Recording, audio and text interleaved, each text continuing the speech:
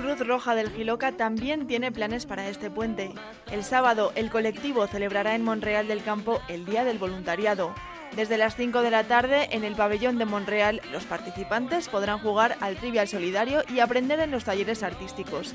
A las 6 habrá una chocolatada y a las 6 y media se leerá un manifiesto. El Día Internacional del Voluntariado fue decretado por la Asamblea General de las Naciones Unidas en 1985. La fecha fijada es el 5 de diciembre. En la jornada que organiza la Coordinadora Aragonesa de Voluntariado, aparte de Cruz Roja del Giloca, también se han implicado Caritas y la Asociación Española contra el Cáncer, además de instituciones de todos los niveles. Por otro lado, Cruz Roja del Giloca ha lanzado un curso de iniciación a los primeros auxilios.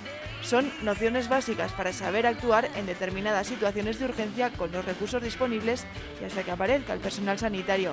Se impartirá en Calamocha entre el 13 y el 14 de diciembre y está destinado a personas mayores de 16 años. Su coste es de 30 euros e incluye material y diploma acreditativo.